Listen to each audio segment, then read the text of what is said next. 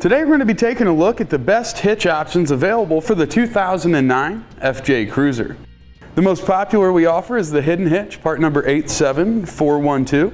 Class 3 hitch, just like the other ones we've got here. Next most popular is going to be our Curt, part number 13367.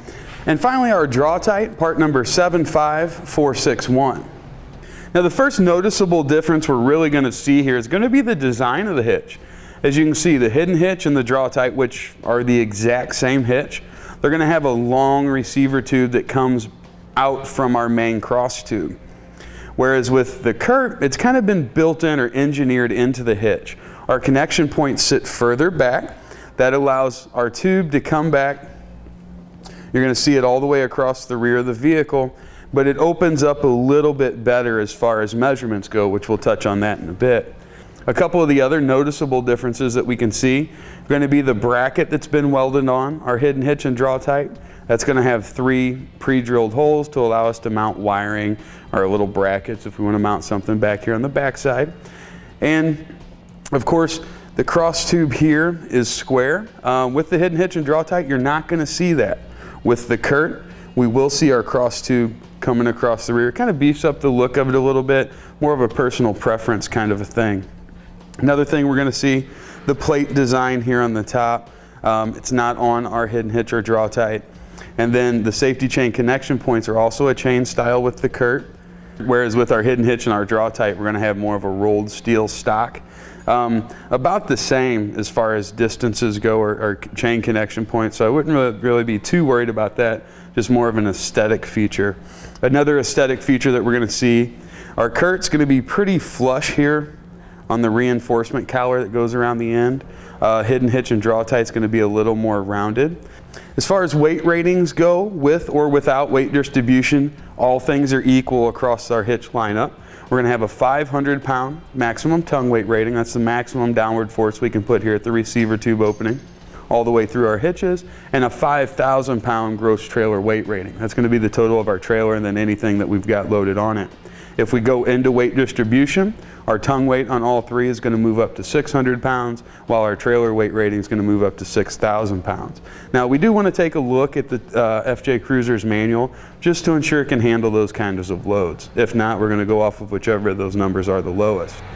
Going down through the hitches, installation is going to be fairly similar across the board. You're not going to have a big swing one way or another. Uh, they'll take you about the same amount of time to get them put in the vehicle.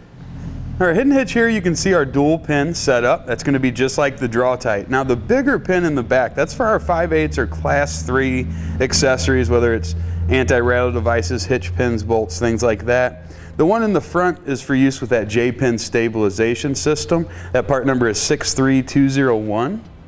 Um, and then you can use that in conjunction with the, the anti-rattle bolt that comes with it to get everything nice and secured if you choose to. Whereas on our Curt, we're going to have just a single 5 8 pin hole here.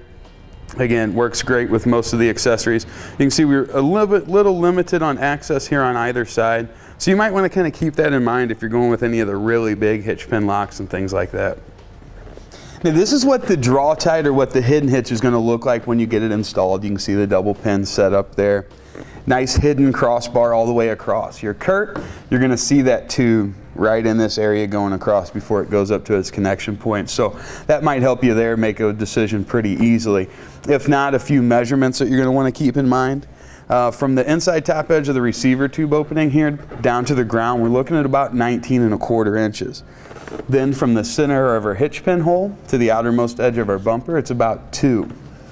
Another measurement is from the center of our hitch pin hole to the outermost edge of our spare tire cover here, that's going to be about eight inches. So we'll need that kind of clearance if we plan on using any of the fold-up cargo carriers or something like that.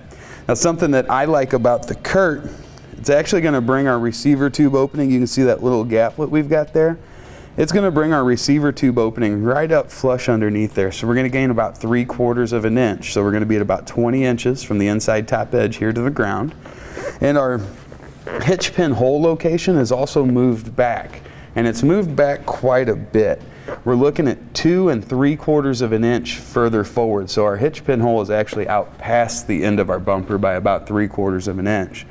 That's going to make the distance from the center of our hitch pin hole to the outermost edge of our tire carrier, only about five and three quarters of an inch. So we're going to pick up about two and three quarters of an inch of spacing between whatever accessory we've, we've got and that spare tire carrier. So for me, even though you can see it going across the rear of the vehicle, I'm probably going to go with the Curt. All things are equal when it comes to towing and we're just buying ourselves more ground clearance and more space away from the vehicle.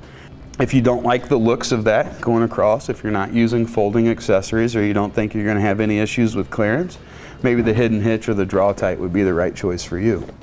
Now that we've had a look over the best hitch options available for our FJ Cruiser, we hope it'll make your buying decision a little bit easier.